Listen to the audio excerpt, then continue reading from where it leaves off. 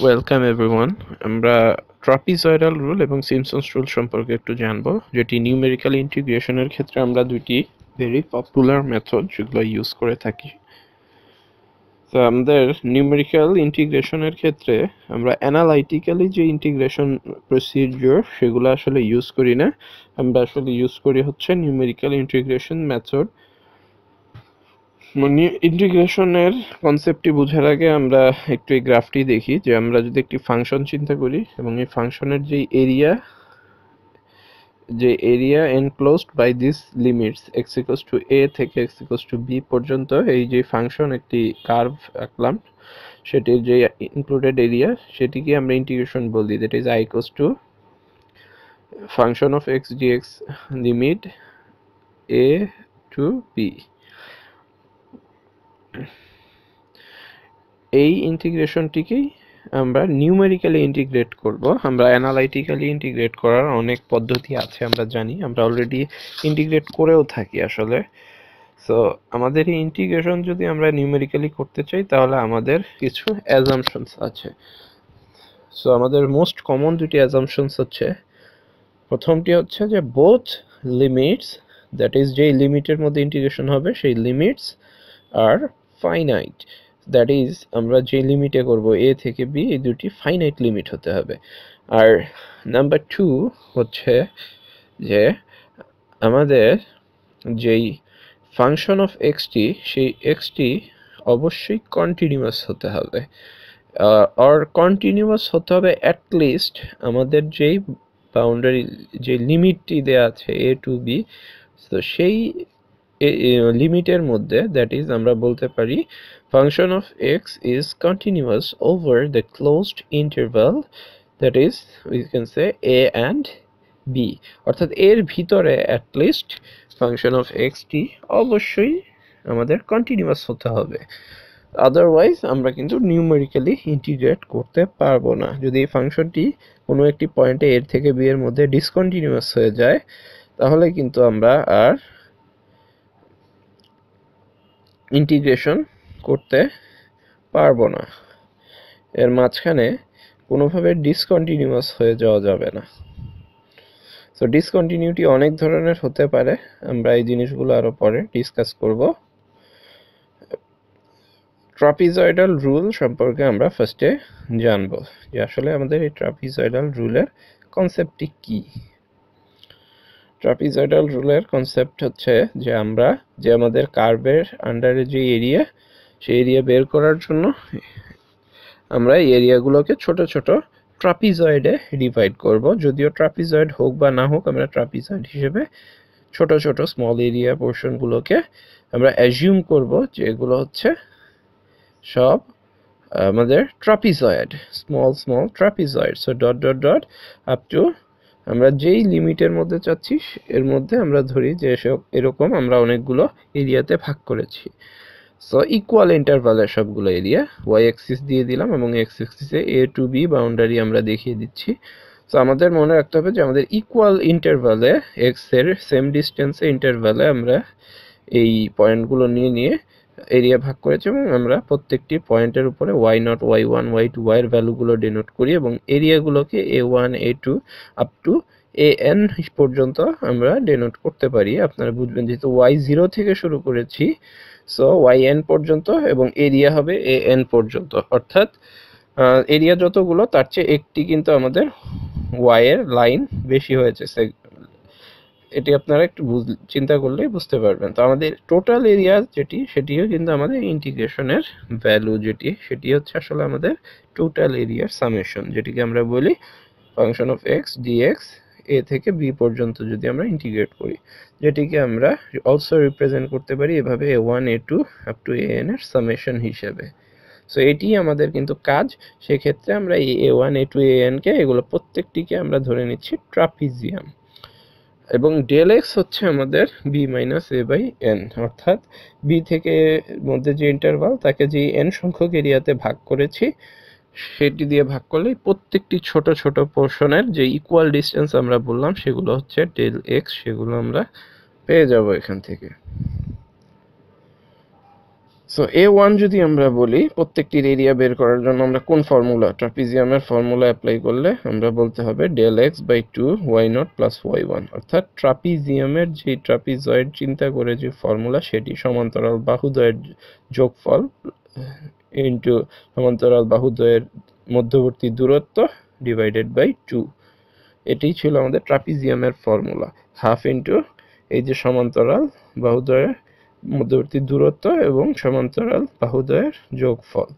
সেটি কিন্তু আমরা এখানে অ্যাপ্লাই করেছি এ ওয়ান বের করার ক্ষেত্রে। সো এটি হচ্ছে আমাদের ট্রাপিজিয়াম ট্রাপিজয়েডাল রুলের একটি বেসিক আমাদের প্রিন্সিপাল যেটি ফলো করে আমরা ইন্টিগ্রেশনের ভ্যালু বের করব। অর্থাৎ আমরা প্রত্যেকটি সেগমেন্টকে এভাবে ট্রাপিজিয়াম হিসেবে অ্যাজিউম করে আমরা কিন্তু প্রত্যেকটির ভ্যালু বের করতে পারব। এবং এ টু এর ক্ষেত্রে হবে del x by two y one plus y two অর্থাৎ পরের এরিয়ার জন্য যেই দুটি আমরা পোর্শন লাইন ইউজ করেছি ওয়াই ওয়ান ওয়াই টু এবং ঠিক একইভাবে a three del x by two y two plus y three তো এভাবে আমরা কিন্তু আপ টু এ এন পর্যন্ত যেতে পারি, যেটি হচ্ছে del x by two y n minus one plus y n শেষ দুটি যেটি ওয়াইয়ের ভ্যালু হবে যেই সেগমেন্ট লাইনের মাধ্যমে সেই দুটি যোগফল। তাহলে টোটাল এরিয়া যদি আমরা বলি, সেটি কিন্তু এই সবগুলো যোগ করলে আমরা মোটামুটি কেমন পাবো? Del x by two common থাকবে সবগুলোর মধ্যে।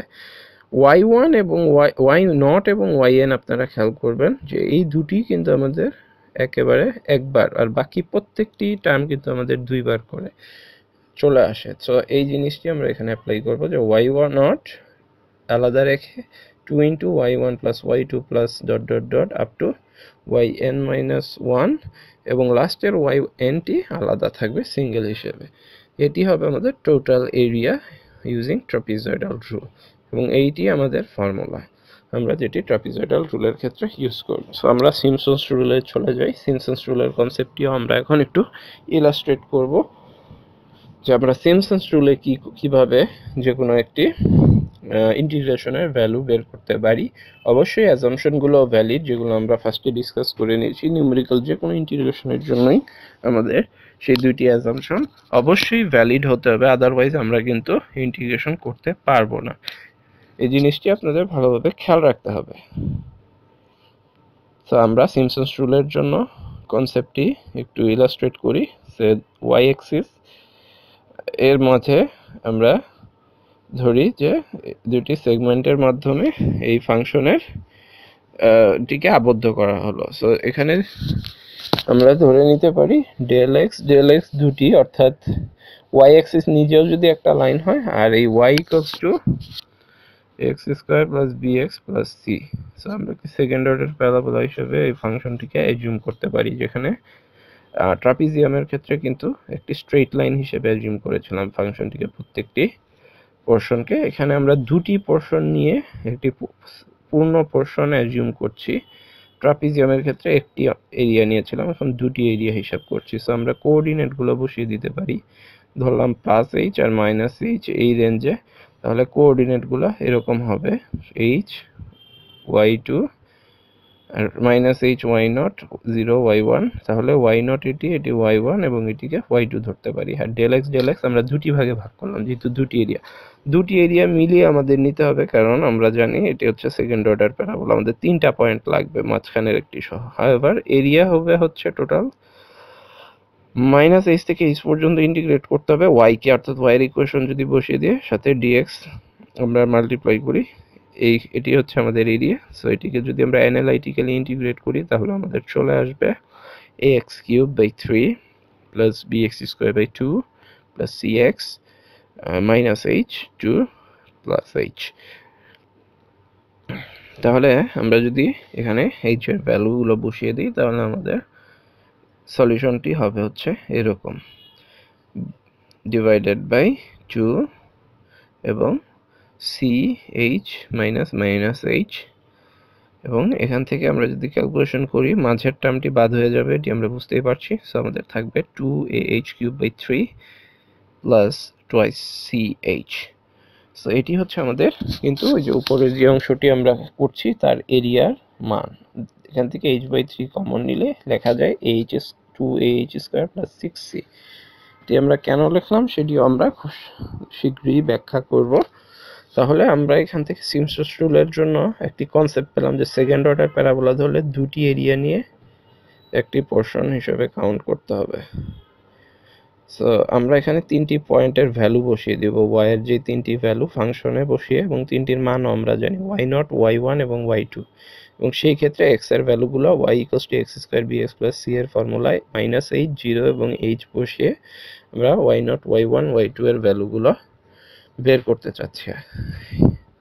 তাহলে আমরা একটি সলিউশনে যেতে পারব। সো ওয়াই নট যদি আমরা ইউজ করি, তখন এক্সের মান মাইনাস এইচ ইউজ করব এবং মাইনাস এইচ ইউজ করলে আমাদের স্কোয়ার হিসাবে প্লাস হয়ে যাবে এবং ফাইনালি আমাদের এক্সপ্রেশন আসবে এরকম ওয়াই ওয়ানের ক্ষেত্রে শুধু সি যেহেতু এক্সের ভ্যালু জিরো আর ওয়াই টু এর ক্ষেত্রে প্লাস এইচ ইউজ করলে আমাদের ফর্মুলা হবে equation h square plus b h plus c তাহলে আমরা তিনটি পয়েন্ট পেলাম, যেহেতু প্যারাবোলার সেকেন্ড অর্ডারের জন্য তিনটি লাগবে, তাই আমরা আসলে তিনটি পয়েন্ট নিয়েছি।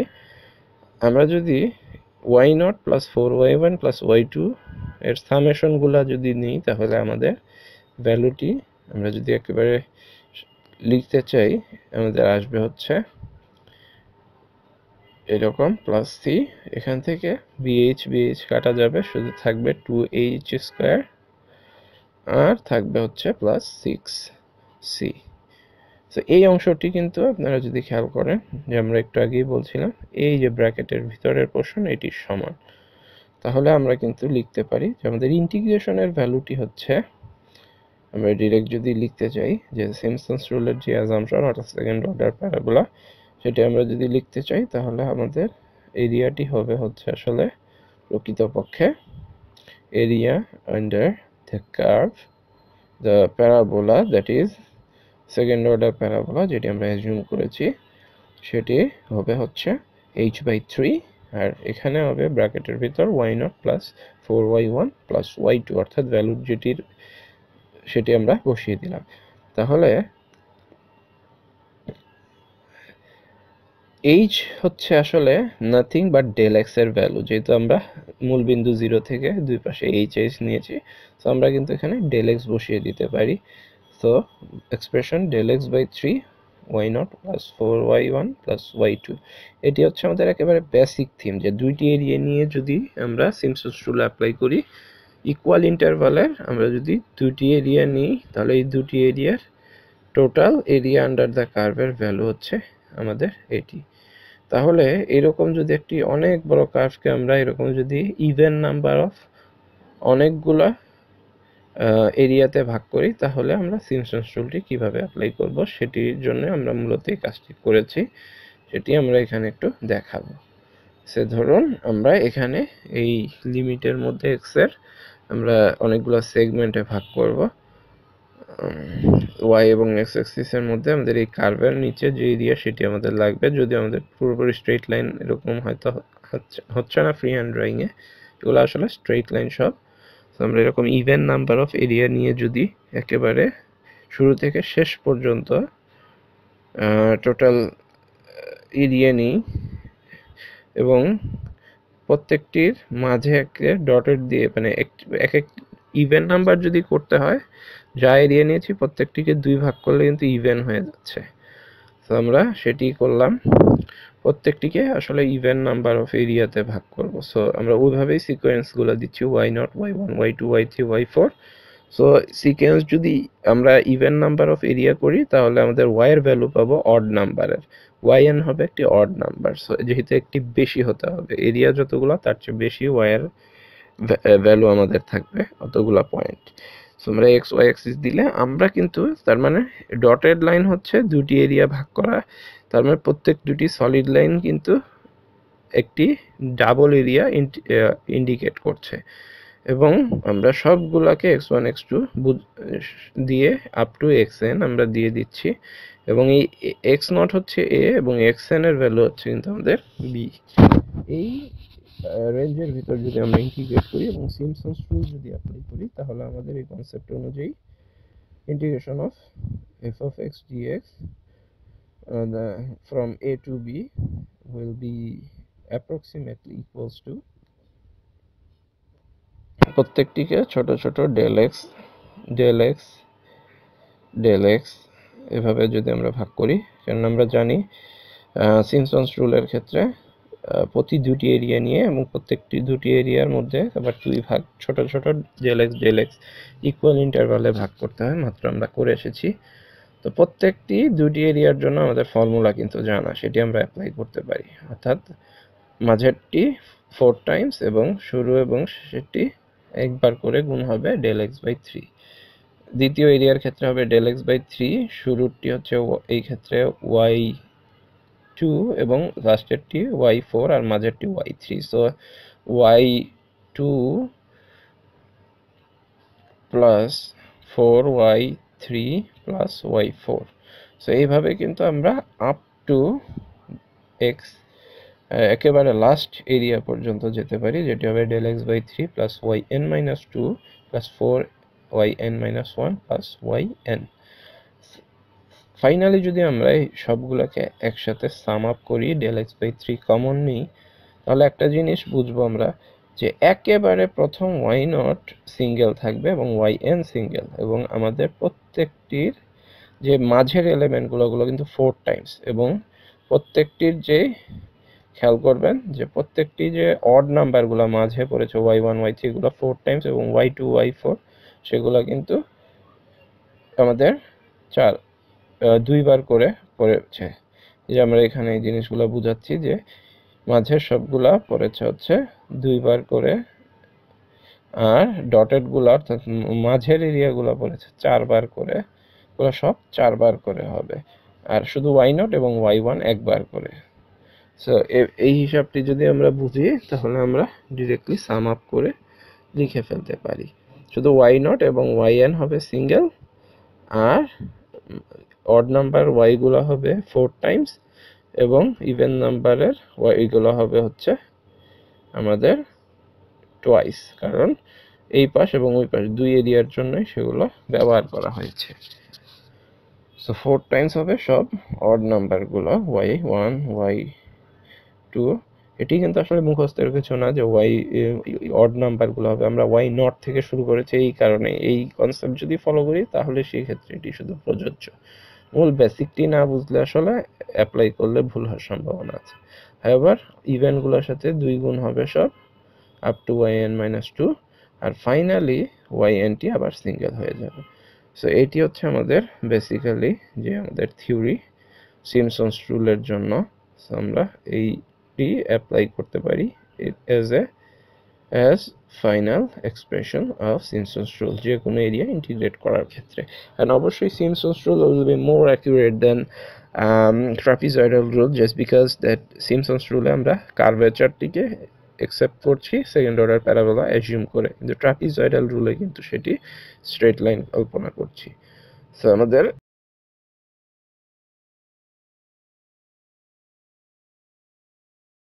ইভেন সেগমেন্টগুলো হবে হচ্ছে লাগবে আমাদের।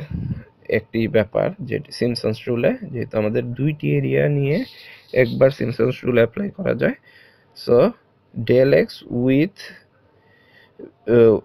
required হবে হচ্ছে ইভেন সেগমেন্টের কারণ ডেল এক্স যদি এরিয়ার সংখ্যা সিমসন্স রুল অ্যাপ্লাই করতে অবশ্যই ইভেন নাম্বার লাগবে।